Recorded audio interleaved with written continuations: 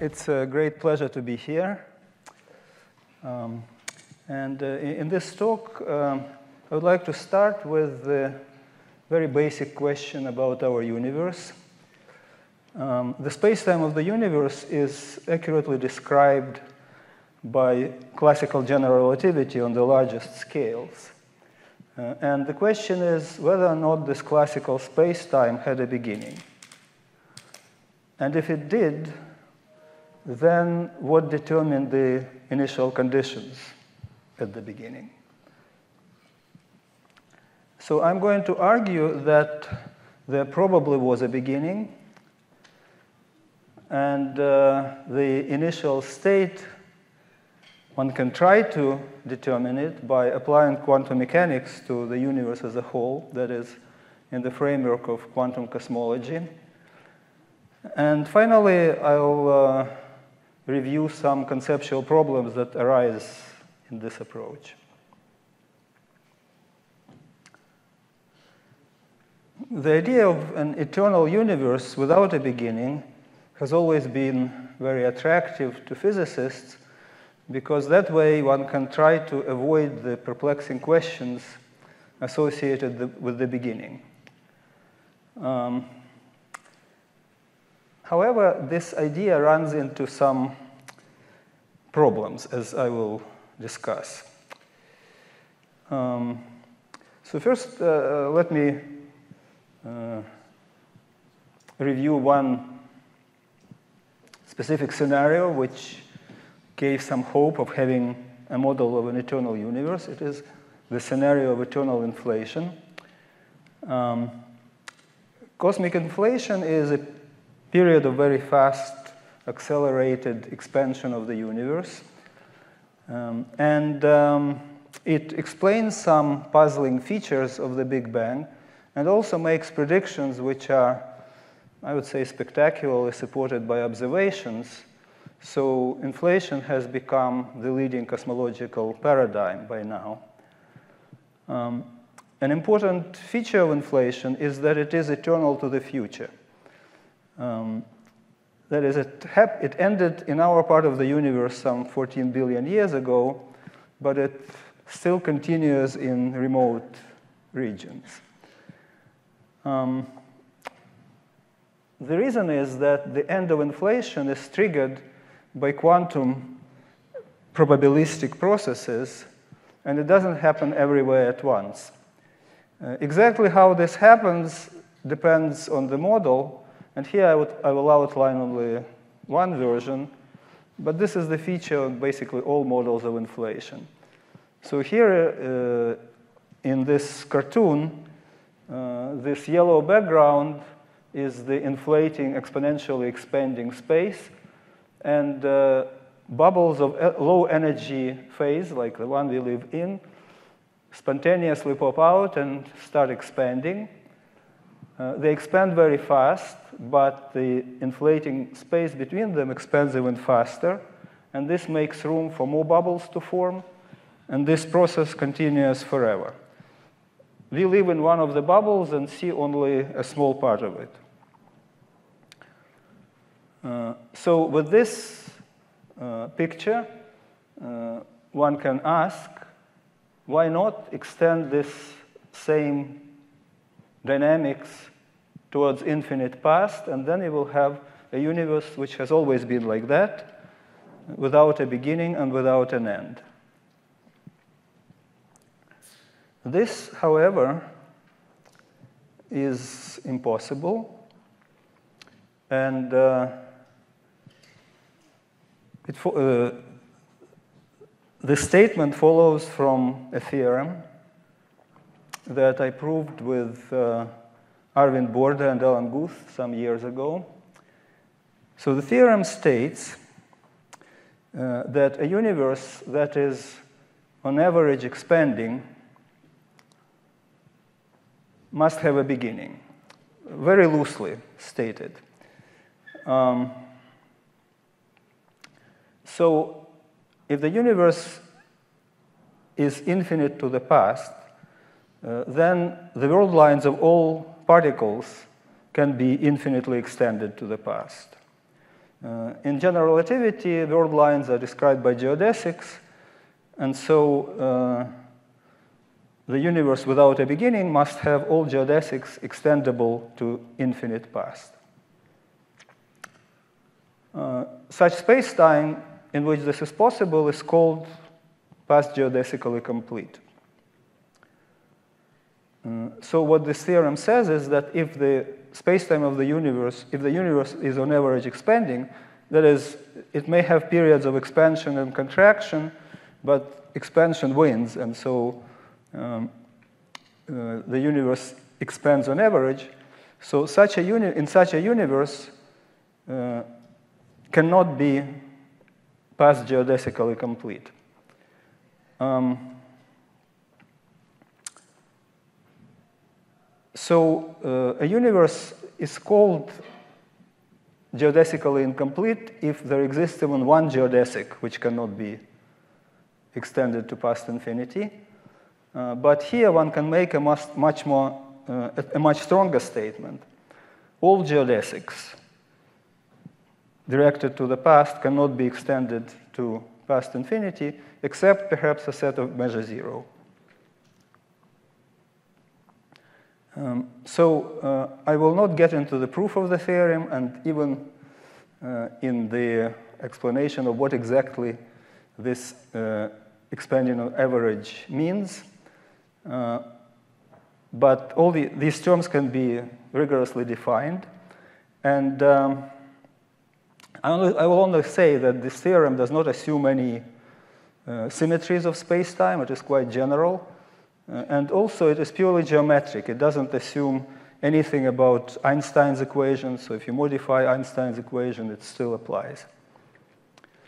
Now, if you apply this to inflationary scenario where the universe does expand, um, the conclusion is that all geodesics extended to the past must run into some obstruction, They should end.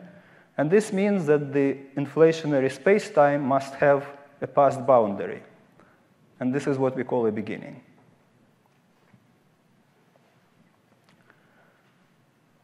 Another popular model is a cyclic universe.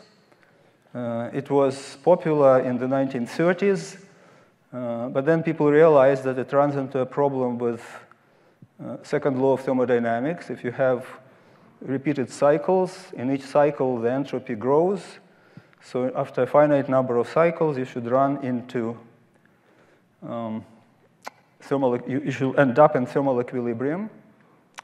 But then uh, Richard Tolman realized that there is a simple way out of this, and that is to assume that in each cycle, the universe expands more than it contracts. So the cycle ends with a greater volume of the universe. So the entropy grows and the volume grows, and this is okay if the entropy per unit volume does not grow. So that would be fine. And this version of scenario was discussed by Paul Steinhardt and collaborators. So this is okay, but uh, such models, uh, in such models, the universe is on average expanding, obviously, right? And so, according to the theorem, they must be past geodesically incomplete. So you cannot have a past eternal universe which is cyclic. So in this talk, I will be focusing on inflationary scenario. And so, um, as I said, uh, the theorem suggests that inflationary universe must have a beginning. And so we must face the issue of initial conditions. Um, so a number of people thought that maybe what one uh, could do is to try to uh, address this problem quantum mechanically. So there is some quantum phase initially which uh, describes the origin of the universe. Um, and this is the approach that I'm going to discuss. Um, and the picture, uh, this, this, has been developed uh, in 1980s and more slowly later on. Uh, so the picture that has emerged from this uh, development is that a compact inflating universe can spontaneously nucleate out of nothing. Where nothing I put in quotation marks, and what I mean by that is a state with no classical space and time.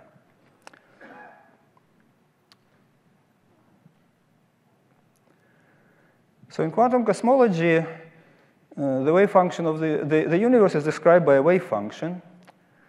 Uh, and uh, this wave function de is defined on what is called the superspace, which is the space of all three geometries and compact three geometries and uh, matter field configurations denoted here by phi um, on those three geometries. Uh, psi satisfies the Wheeler-DeWitt equation, h psi equal to 0, where h is the Hamiltonian operator. And symbolically, this uh, equation has this form. Uh, so it's really, similar to a Klein-Gordon equation. Uh, del squared is the uh, superspace Laplacian or D'Alembertian, probably more like D'Alembertian because the metric on superspace is indefinite. And U is some potential, which you can write down, but I will, its specific form is not important for what I'm going to discuss. Um, so, okay, so we have this uh, equation, and uh, there is a number of issues that one needs to address to proceed with this program. Uh, first of all, we know that this is like Schrodinger equation, but without time. So psi is independent of time. And um, uh, this, uh, of course, was recognized by Bryce DeWitt, who developed this formalism. And uh, the resolution of this uh, that he proposed was that uh, clocks that measure time are parts of the universe and so time should be defined in terms of some of the superspace variables, geometric or matter variables. Um, now, another question is how do we define probabilities? Um, one cannot simply write psi squared, right? Because psi squared in ordinary quantum mechanics is not an arbitrary choice. Psi squared is uh, component of conserved current, and so this choice ensures that probability is conserved. Uh, and here, psi squared is not a component of a conserved current for this formal equation. So this, we have to, dis, uh, to address this. Um, and um, another question is, in order to solve this Wheeler-DeWitt equation, uh, one has to specify the boundary conditions for psi. Because obviously this equation has an infinite number of solutions, and the boundary conditions will select one. So in the rest, uh, I will now discuss in turn these two last issues.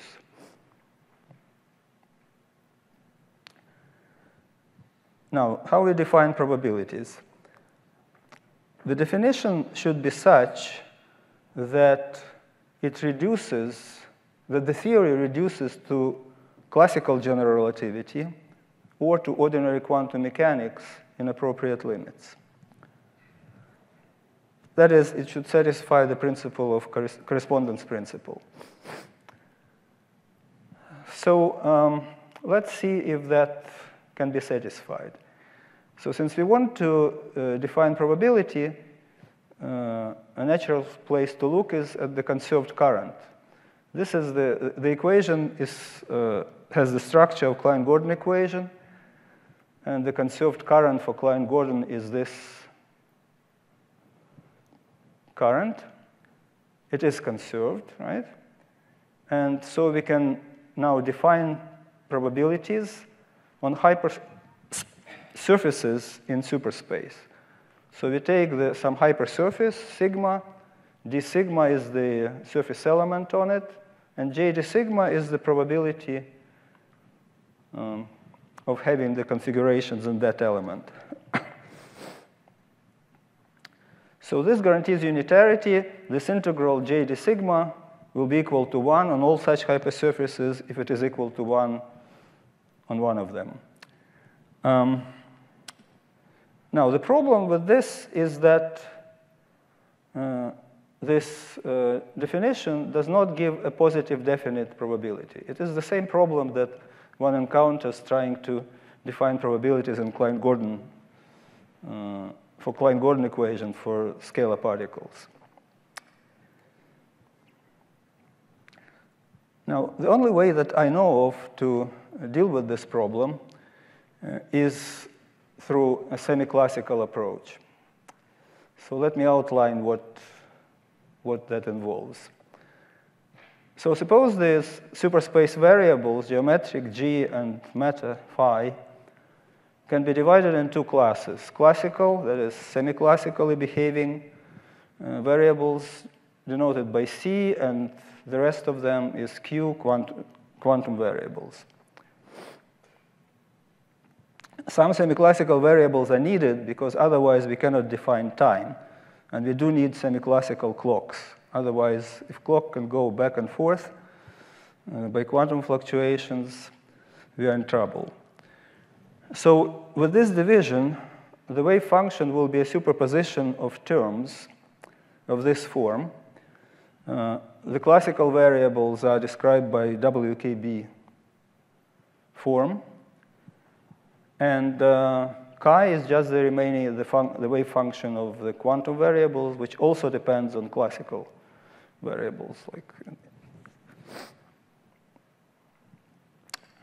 Now, if you substitute this ansatz in the Wheeler-DeWitt equation, then to the leading order, you find that it just gives you a Hamilton-Jacobi equation for this classical action S. Uh, and solution of Hamilton-Jacobi equation describes an ensemble of classical universes. So if this is superspace, uh, this equation, uh, this uh, function S uh, describes uh, a congruence of classical trajectories of the universe. So through each point in superspace, there is a trajectory. Mm, satisfying the classical equations of motion here. And we can construct this conserved current. And now we can ask, is this positive?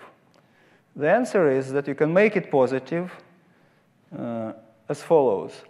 You have choose this hypersurface sigma on which, uh, on which this, um, this probability distribution is defined. You choose it in such a way that these classical trajectories all cross sigma in the same direction. So you don't allow the trajectories cross it and then go back and recross. So you choose your hypersurfaces that such that they cross only once each of the trajectories. Um, and uh, that guarantees that the probability, classical probability distribution is positive. Then you go to the next semi-classical approximation uh, that gives you, uh, that treats this quantum part of the wave function. And you find that uh, the Wheeler-DeWitt equation gives you the ordinary Schrodinger equation for this chi. And this time t that appears in this equation is defined in terms of the classical trajectories. And then the conserved current is this positive definite current that I just described times chi squared. And chi squared, of course, is the usual quantum mechanical uh, probability. So we fully recover uh, ordinary quantum mechanics with this approach. Uh, both the equation and the probability definition. Um, the only thing I should uh, emphasize here is that uh, probabilities in this approach are defined only approximately with the accuracy of the semi-classical approximation.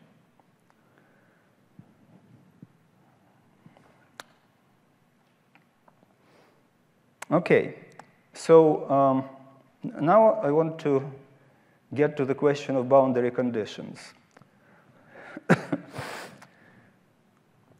In ordinary quantum mechanics, how do we impose boundary conditions?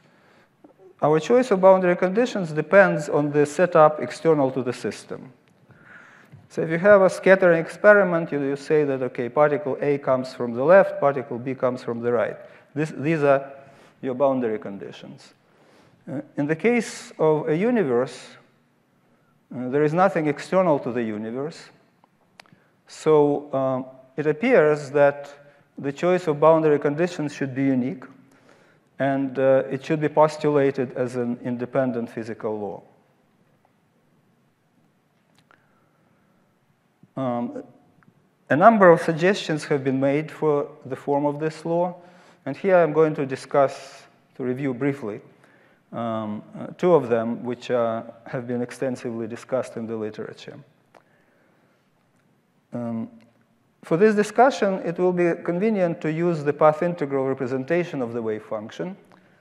So the wave function can be expressed like this uh, path integral.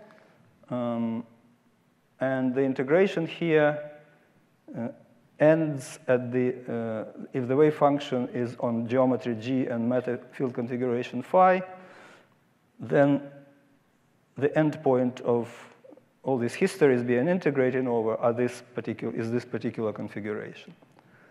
Now, the question of boundary conditions in this formulation reduces to the question what is the class of paths being integrated over here?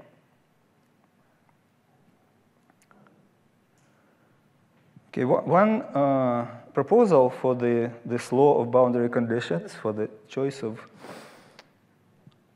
class of paths is the uh, Hartle-Hawking wave function. And uh, they suggested that we should integrate over Euclidean geometries, that is, we do a Euclidean continuation from time t to Euclidean time tau. And then uh, we integrate over compact Euclidean four geometries, right, like shown here, which are bounded the, by the three geometry in the argument of the wave function.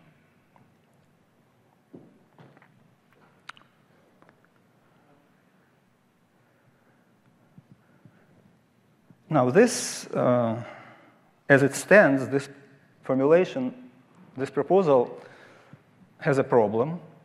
The problem is that the Euclidean action SE is unbounded from below. And uh, so it becomes arbitrarily negative, and the integral is badly divergent as it stands. Uh, the way out of this, suggested by Hartle-Hawking and collaborators, was that we should actually integrate over complex metrics. Not really Euclidean metrics, but complex metrics. Um, however, the space of compact metric, uh, of complex metrics is very large, and it is not clear how one chooses the integration contour in this huge space. And indeed, when this proposal was applied to specific uh, simple models, uh, one needs to choose the class, the integration co contour differently for different models.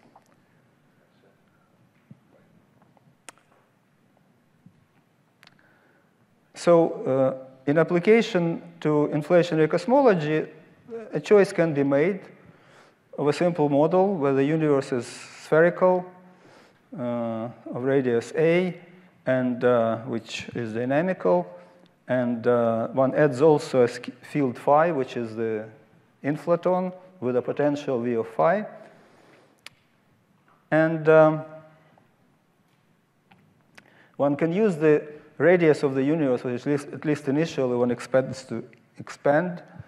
Uh, and so it is monotonic as a time variable, and find the distri probability distribution for the field phi. And this is the uh, distribution one finds, you can see that it is peaked exponentially at smallest possible values of the potential. Um, and that means that the universe originates with the smallest possible uh, vacuum energy. This V of phi basically pl plays the role of vacuum energy or um, cosmological constant uh, in inflationary scenario. So inflation, uh, one would want to start it with high value of the potential, and then the field phi rolls down to smaller values. And here we have the opposite situation that the universe starts with very small v of phi, so this actually disfavors inflation. Um, another uh, proposal that has been discussed is the, what is called the tunneling wave function. And here the path integral is Lorentzian. We don't do any analytic continuation. And we integrate between the uh, vanishing geometry, right? So just a point and the given configuration over Lorentzian paths. Um,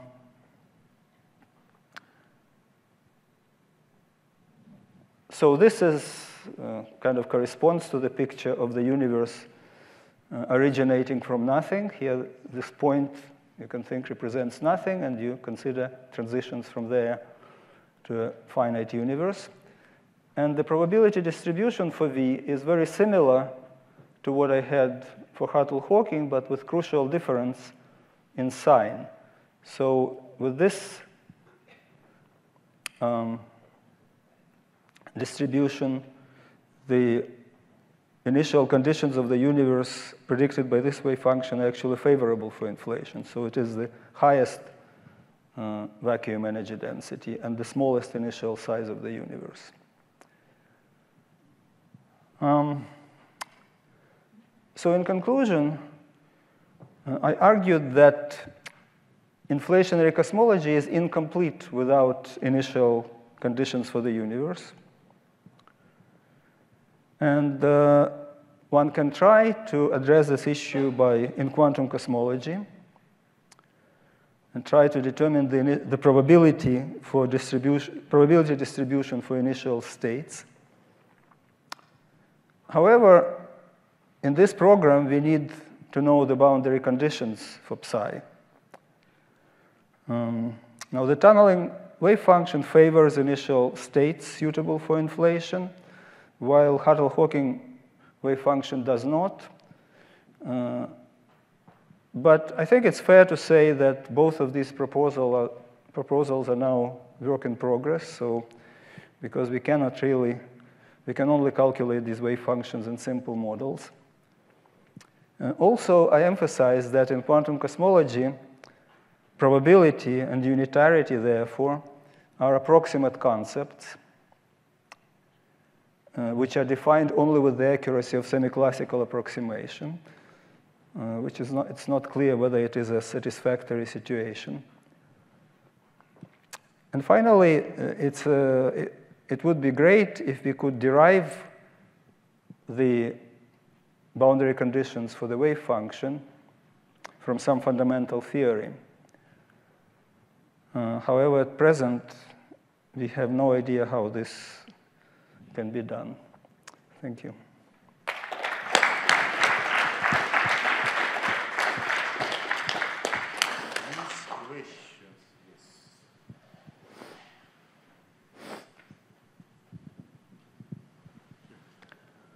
Thanks, Alex. Um, you didn't say anything about observable predictions or consequences or anything like that. I mean, do you have any hope that by observing something in the universe, we can learn the, the you know, some of the part of this mean, puzzle?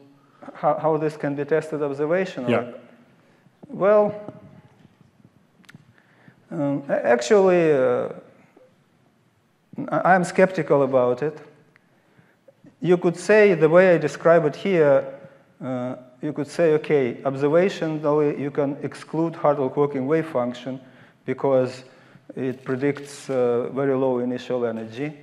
However, if you have very small cosmological constant, there is a non-zero probability of tunneling to a high cosmological constant.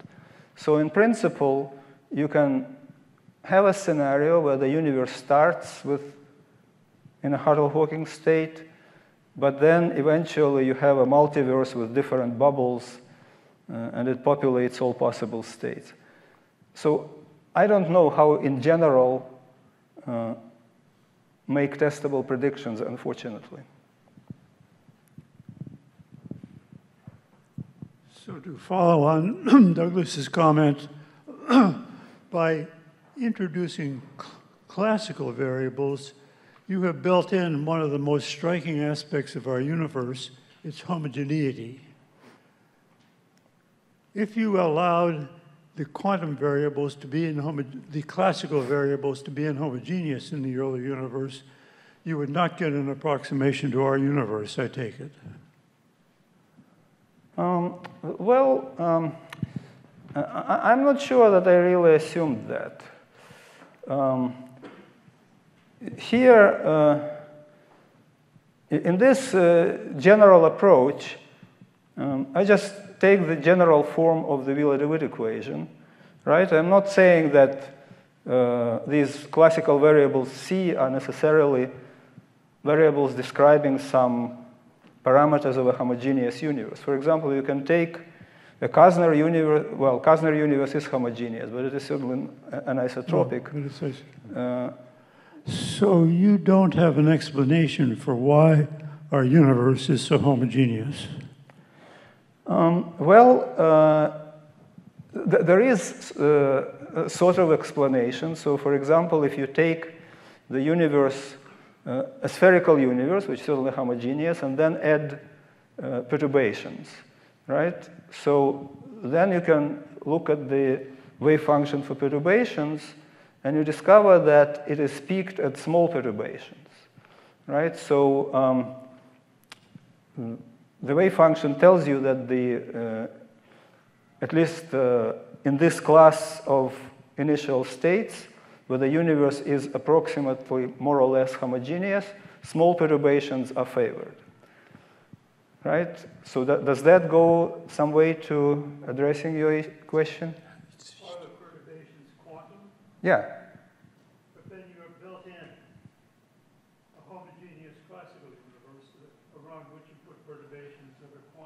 Well, uh, Jim, look, uh, they, are not, they are all quantum, right? Simply the variables C are treated in, uh, using WKB, right? And the uh, other variables are uh, unrestricted. Cannot do better. That is